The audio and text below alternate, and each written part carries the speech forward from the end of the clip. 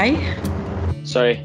Okay. Yeah, I just started recording just in case I forget. Um, I don't know if you see like the top bar that I'm recording. I see that you're recording. Nice. Okay. So sorry, what were you saying? Uh, I didn't hear your question. I'm sorry, I'm not so familiar with, with the International Malaysian. So it's your brainchild? Yes. Uh, my friend and I. So, but today it's just me for now. Um, well, I think maybe a good way to start is for me to tell you what what we're trying to do, right? I guess that's the best way to start. Uh, initially, we started off. Um, oh, by the way, I'm Shazwan. Sorry, Yeah. that should be better. Um, so I started off this with the intention of uh, sort of sharing stories about Malaysians worldwide. Um, have you heard of Kita Oki? I don't know. Yes. Oh, Yeah, is that so you not- No, no, no, no. But Ah. they they sort of started a, a little bit later than us. So they started to like post pictures of people, kind of like Humans of New York style, kan? So we wanted to take Humans of New York but make it into a video. Um, so one minute bite size interviews with different Malaysians from different parts of the world where we travel um, uh, and things like that. So it was more like to expose people on where actually all of us are. Because, for example, in the UK, there's about 17,000 of us. And the US, is about 12,000. And like Turkey, Egypt. So it's like a lot of Malaysians everywhere. But I didn't know that personally. So I thought it'd be a good place to start just to share stories. Is it okay if I asked you why you started Ringgit or Ringgit? It started. I've always been interested in personal finance, like always, always. Um, the first time I tracked my expenses was when I was 17. Um, Oh, wow. Okay. and I still have the book. Um, you know, I was I was also an exchange student to Japan during that time, and um, I received you know like spending money from my parents. Um, and so I budgeted and I tracked down each and every single one of my spending. So you know my allowance would last for the whole year. Um, and then after that came back. Um, you know because of all the interactions with uh, with you know um, people of different nationalities, I think that's what uh, encouraged me to um, move out of my parents' house. Um, so I've been, I think, living outside of my parents' house most of the time since I was 18 or since at least 20, like that. Um, so you just have to like while working, while studying. So I just have to like make sure that every ringgit counts, right? Um, and I was getting a lot of my personal finance information from from American personal finance blog, from from UK, from um, from Australia, and then I noticed that there were not so many information catering for Malaysians. Um, so I got frustrated, and I just started. You know what? If no one's gonna do this, I'm gonna do it. Uh, I can do it. Yeah. No. Um. In the beginning, it was it was horrible because no experience in um, doing website whatsoever um, my first website was actually called Chicken Floss Bun, uh, which has no Okay. relation, no branding whatsoever. it, it it tanked, no strategy, you know, just kind of like just put them out, out there. Um, and then just kind of like, okay, you know what, let's do another try because still I still wanted this kind of information and somehow I feel that um, it could be an interesting place for people to check out, if at least for like ego boosting purposes. Um, it's true. Um, and I've always been kind of like shy about this aspect of myself. Like, oh, okay, I don't want people to think that I'm stingy or anything. I don't want people to think like, no, everyone else online is just like showing off what they bought, showing off where they go. You know, there's a lot of like, oh, here's what I did and here's what I purchased. Whereas I'm gonna talk about like more like, oh, look at this amazing dress that I got for like 30 bucks. you know. I want And place where I can much brag you about save, that yeah. kind of things.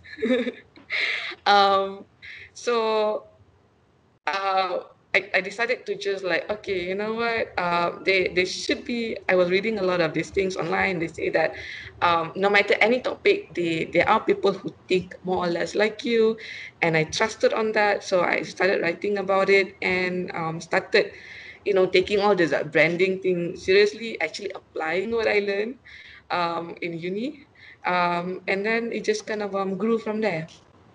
Um, and of course, um, when I started the website, I was also a freelance writer concurrently. So I was also learning on the job how to write SEO articles, how to do graphics, how to do, you know, like user friendly UX, um, all those things just just improve my skills um, tremendously. So it the the financial blog part and the work part kind of work hand in hand.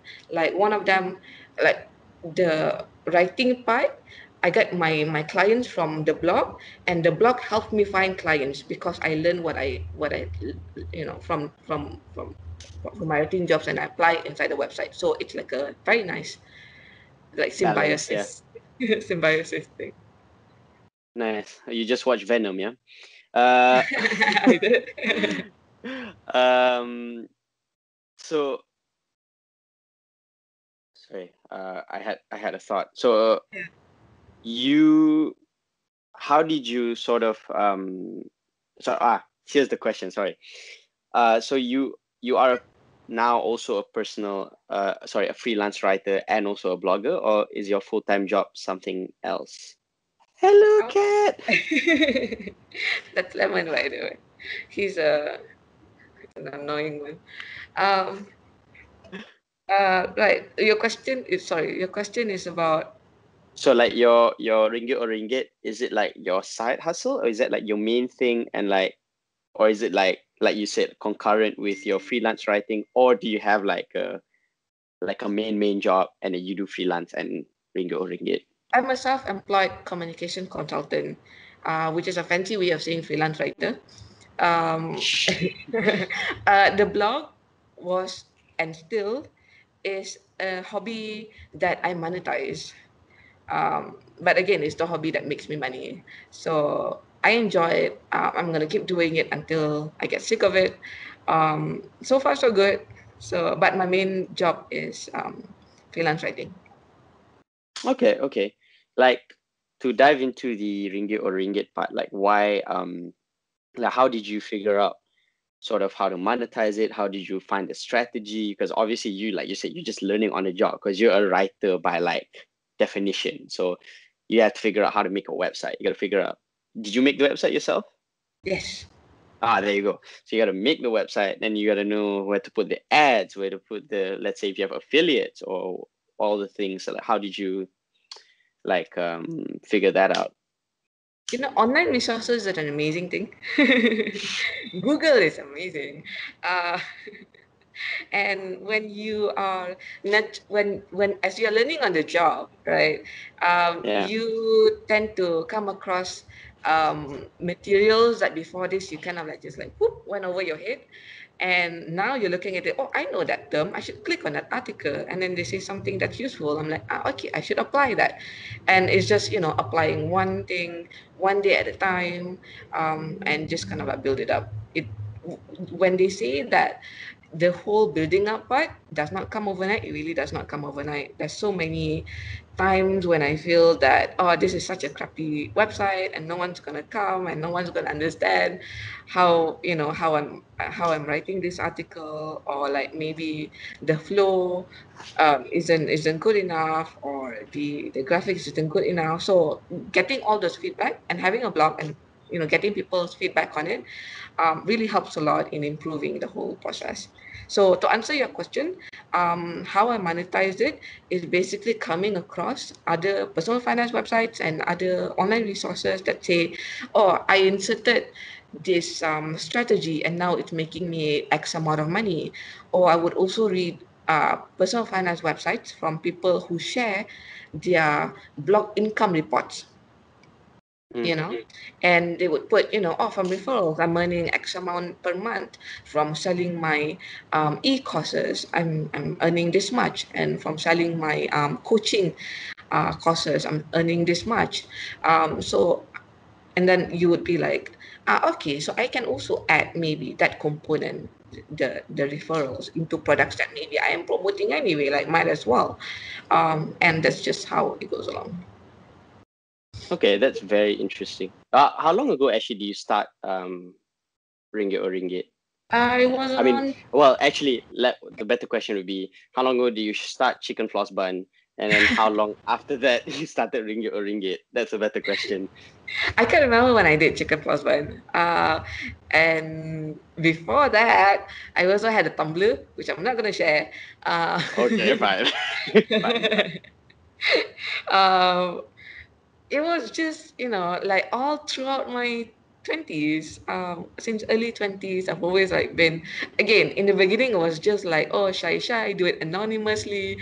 I don't want my peers to think that i'm stingy with money. Um and then after that you you as you know as you see like feedback of people actually kind of like enjoying those posts it'll be like ah so people don't mind that I'm this kind of person. Cool. I'm gonna post more ways that I save money. Hopefully they will like that too. Um, so to answer your question, it's always been like on and off. Um, but doing it in like a proper like website. Um, Ringgit Ringgit started in December 2015, so it's been almost three years now.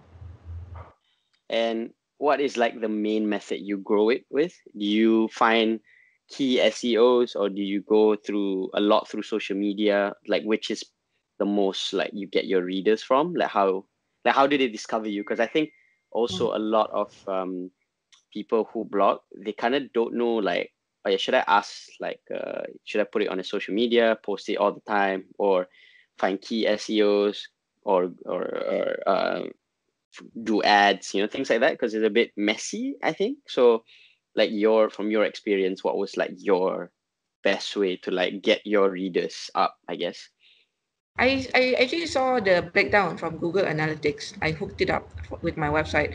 Uh, 70% comes from tra- from organic traffic, so that's from Google. Okay.